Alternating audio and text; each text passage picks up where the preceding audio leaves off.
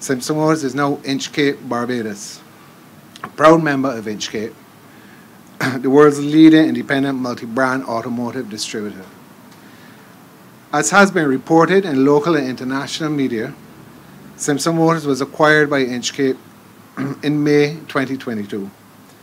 The merger allows the newly formed Inchcape Barbados to build on a strong platform that Simpson Motors has developed in Barbados and to accelerate the growth of the organization through Inchcape's global relationships, technical know-how, and unparalleled experience in the automotive industry.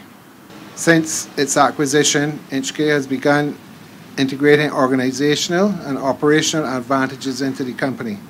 Landscaping and infrastructural enhancements, enhancements have already started and there are plans to add a number of fuel-efficient electric and hybrid vehicles to its already impressive portfolio, along with the expected imminent return of some Barbadian favorites. We are eagerly looking forward to the highly anticipated return of the Suzuki Grand Vitara, as well as the much requested Mitsubishi L200.